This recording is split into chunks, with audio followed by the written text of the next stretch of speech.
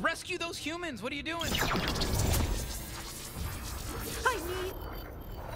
You know, let's just tell everybody we killed them all. They'll- they'll- they'll- well, hey, this seems pretty nice. You know, I, I bet all the humans are really happy here.